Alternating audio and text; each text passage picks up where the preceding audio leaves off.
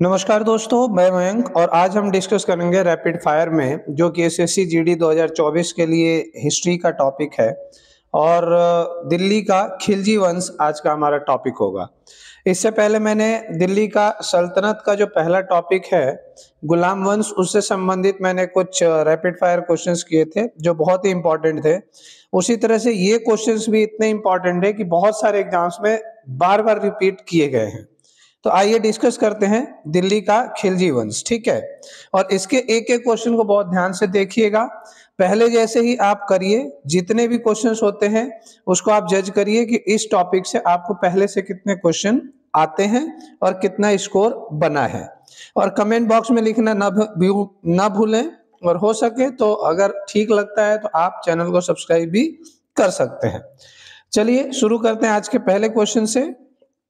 पहला क्वेश्चन है, तेरह जून 1290 ईस्वी को डैश ने खिलजी वंश की स्थापना की। ऑप्शन है, जलालुद्दीन फिरोज खिलजी, शहाबुद्दीन उमर, अलाउद्दीन खिलजी या बख्तियार खिलजी। एक बार सोच लीजिए, इसका सही आंसर क्या है, फिर हम डिस्कस करते हैं। चलिए, जानते हैं इसका सही आंसर इसका सही आंसर है, जलालुद्दीन फिरोज खिलजी। ठीक है, आप याद रखने का एक तरीका रख सकते हैं। जैसे सल्तनत के जितने भी वंश हैं, मैंने पिछली वीडियो में आपको बताया था कि गुल खिले तो सांस लो, ठीक है ना? तो गुलाम खिलजी तुलक, तुगलक, ठीक है? गुल खिले तो सांस लो, सैयद, ठीक है? और लोधी। तो क्या क्या बन गया? गुल खिले तो सांस लो, गुलाम, खिलजी, तुगलक, सैयद और लोधी। ये तो वंश है सल्तनत के। और इनके लिए आपको ऑप्शंस में से ऑप्शन चुनने होते हैं। कई बार कि बताइए, सबसे पहले सल्तनत का कौन सा वंश आया, फिर दूसरे नंबर पे, तीसरे नंबर पे, चौथे नंबर पे। ठीक, और इसका जो खिलजी वंश का संस्थापक है, वो जलालुद्दीन फिरोज खिलजी है। और इससे पहले हमने डिस्कस किया था किसका? गुलाम वंश का। तो वो था कुतुबुद्दीन ऐबक। नेक्स्ट क्वेश्चन की बढ़ते हैं। निम्नलिखित में से किस सुल्तान ने किलोखरी महल में अपना राज्य अभिषेक किया और उसे अपनी राजधानी बनाया? जलालुद्दीन फिरोज खिलजी, सिहाबुद्दीन उमर, अलाउद्दीन खिलजी या बख्तियार खिलजी? ये ध्यान रखिएगा, किलोखरी महल। ठीक है ना? किलोखरी महल में राज्य अभिषेक किसका हुआ? जिसको आता है वो कमेंट करे। सही आंसर है जलालुद्दीन फिरोज खिलजी। नेक्स्ट क्वेश्चन की ओर बढ़ते हैं। अगला क्वेश्चन है, दिल्ली सल्तनत का सबसे वृद्ध शासक जलालुद्दीन फिरोज खिलजी था, जिसकी राज्यारोहण के समय आयु डैश थी। पैंसठ वर्ष, सत्तर वर्ष, पिछहत्तर वर्ष या तिहत्तर वर्ष? चलिए, सही आंसर है सत्तर वर्ष, ठीक है ना? जलालुद्दीन फिरोज खिलजी जब शासक बना तो उसकी उम्र सत्तर वर्ष थी। नेक्स्ट क्वेश्चन है, दिल्ली के खिलजी सुल्तान थे। जो खिलजी वंश के सुल्तान थे, वो कहाँ से थे या कौन थे? मंगोल थे, अफगान थे, तुर्क थे या एक जाट कबीला था? चलिए, सही आंसर है तुर्क। ठीक है ना? जो खिलजी सुल्तान थे, वो तुर्की थे। नेक्स्ट क्वेश्चन है, जलालुद्दीन फिरोज खिलजी ने सुल्तान कैकुबाद और सुल्तान डैश की हत्या कर खिलजी वंश की स्थापना की। जलालुद्दीन फिरोज खिलजी ने सुल्तान कैकुबाद और सुल्तान की हत्या कर खिलजी वंश की स्थापना की। वो कौन था? गयासुद्दीन बलबन कैकुबाद, नसीरुद्दीन महमूद या क्यूमर्स? चलिए, यहाँ आपने देखा कि सुल्तान कैकुबाद और एक सुल्तान और था, जिसका नाम था क्यूमर्स। उसने क्यूमर्स और कैकुबाद की हत्या करके जलालुद्दीन फिरोज खिलजी ने खिलजी वंश की स्थापना की। नेक्स्ट क्वेश्चन है जलालुद्दीन फिरोज खिलजी ने सुल्तान देश की हत्या कर उसे यमुना नदी में फेंक दिया था। किस सुल्तान की हत्या करके जलालुद्दीन फिरोज खिलजी ने यमुना नदी में फेंक दिया था? ऑप्शन से गयासुद्दीन बलबन, मोहम्मद बिन तुगलक, नासिरुद्दीन महमूद या कैकुबाद।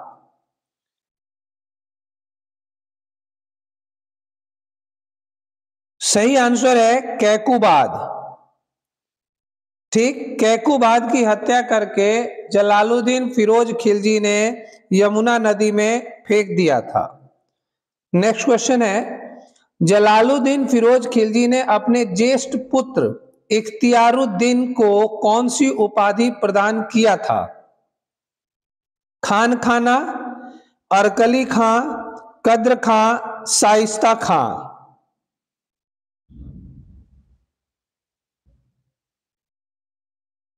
सही आंसर है खान खाना। मैं पाँच सेकंड तक रुकता हूँ हर क्वेश्चन के लिए भाई। तो आप उस पाँच सेकंड में डिसाइड कर लिया करिए कि इन चार में से कौन सा ऑप्शन है। नेक्स्ट क्वेश्चन की ओर बढ़ते हैं। दिल्ली सल्तनत का प्रथम शासक कौन था, जो हिंदू जनता के प्रति उदार दृष्टिकोण रखता था? तो सुल्तानों में वो पहला शासक कौन था, जो हिंदू जनता के प्रति उदार दृष्टिकोण रखता था? जलालुद्दीन फिरोज खिलजी, सिहाबुद्दीन उमर, अलाउद्दीन खिलजी, बख्तियार खिलजी।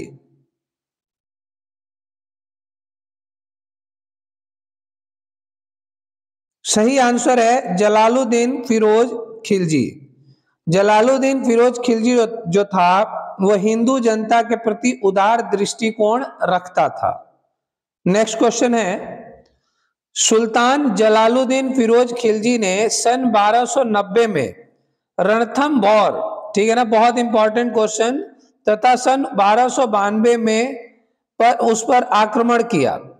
ठीक है 1290 और बारह में रणथम बौर पर खिलजी ने आक्रमण किया। वो जगह कौन सी थी? ठीक है ना रणथम बौर तो भीलसा, देवगिरी, मंडौर या मुल्तान।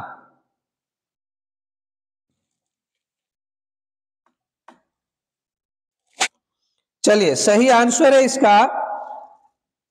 भीलसा, देवगिरी, मंडौर और सुल्तान में से मंडौर। नेक्स्ट क्वेश्चन है।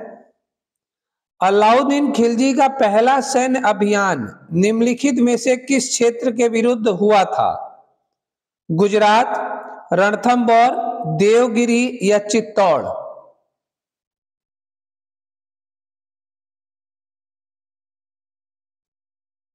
अलाउद्दीन खिलजी का पहला सैन्य अभियान जो हुआ था, वो हुआ था देवगिरी के विरुद्ध। ठीक है ना?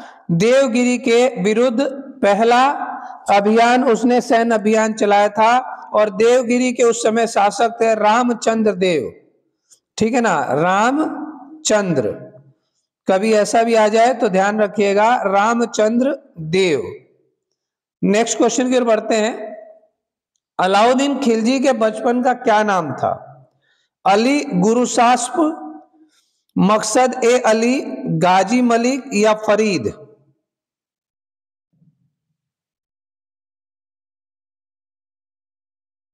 सही आंसर है अली गुरु सास्प अलाउद्दीन खिलजी के बचपन का नाम था अली गुरु सास्प नेक्स्ट क्वेश्चन है दक्षिण विजय करने का मिशन अलाउद्दीन खिलजी ने किसे सौंपा?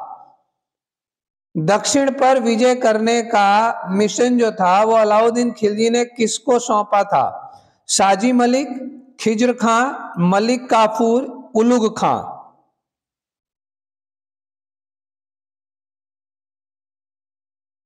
सही आंसर है मलिक काफूर।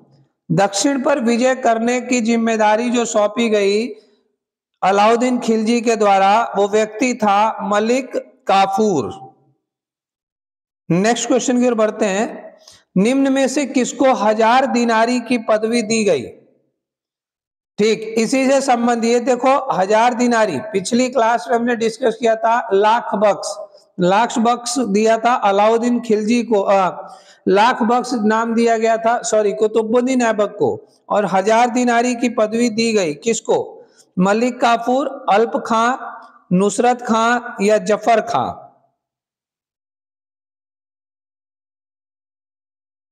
सही जवाब है मलिक काफूर। मिलाते जाइएगा आप लोगों के कितने क्वेश्चन सही हो रहे हैं। नेक्स्ट क्वेश्चन है, तुतीय Hind most important question Amir Khusro का जन्म हुआ था। पहली बात तो ये समझिए कि तुतीय हिंद किसको कहा जाता है? ये भी पूछा जाता है। तो तुतीय हिंद अमीर खुसरो को कहा जाता है, ठीक है? तुतीय हिंद अमीर खुसरो का जन्म हुआ था कहाँ पर? पाटली में, पट्टी में, पटियाली में या पटियाला में?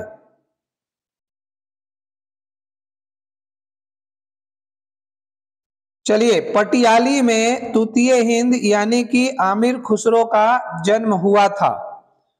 नेक्स्ट क्वेश्चन है इनमें से कौन सी रचना अमीर खुसरो की नहीं है? तहकीक ई हिंद, किरान उस सदेन, मिफ्ताह उल फुतुह, या नूर ई सिपिहर?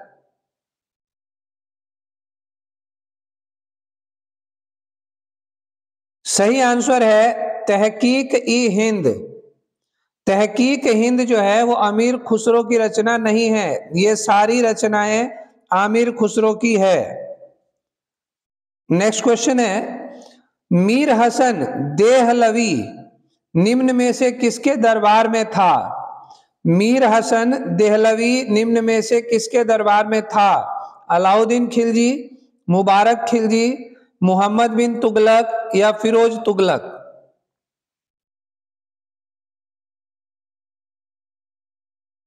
चलिए, सही जवाब है अलाउद्दीन खिलजी। अलाउद्दीन खिलजी के दरबार में मीर हसन दहलवी था।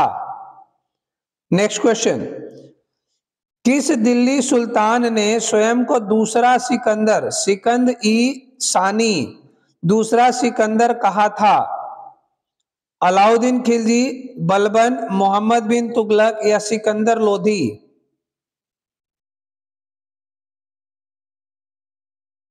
सही आंसर है अलाउद्दीन खिलजी। अलाउद्दीन खिलजी ने खुद को दूसरा सिकंदर, या सिकंदर ईसानी कहा था। नेक्स्ट क्वेश्चन दिल्ली के किस सुल्तान ने खलीफा उल्लाह का पद धारण किया था? खलीफा उल्लाह का पद धारण करने वाला कौन सुल्तान था? अलाउद्दीन खिलजी, बलबन कुतुबुद्दीन मुबारक खिलजी, मोहम्मद बिन तुगलक। सही जवाब है अलाउद्दीन खिलजी। नेक्स्ट क्वेश्चन है, राज्यारोहण के बाद खुसरो खान ने कौन सी उपाधि धारण की? खुसरो खान ने कौन सी उपाधि धारण की? राज्यारोहण के उपरांत, उलुग खां की उपाधि, खाने खाना की उपाधि, खिलाफत उल्लाह या नासिरुद्दीन खुसरो शाह?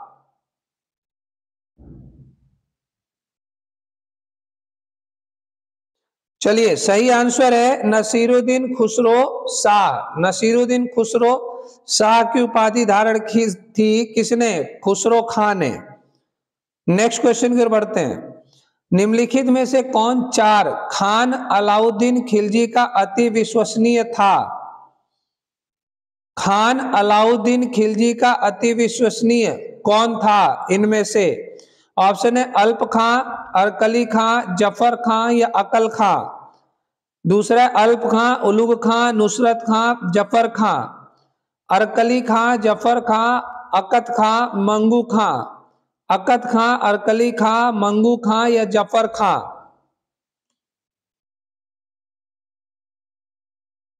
आइए सही जवाब जानते हैं। सही जवाब है अकत खां अरकली खां, मंगू खां और ज़फ़र खां।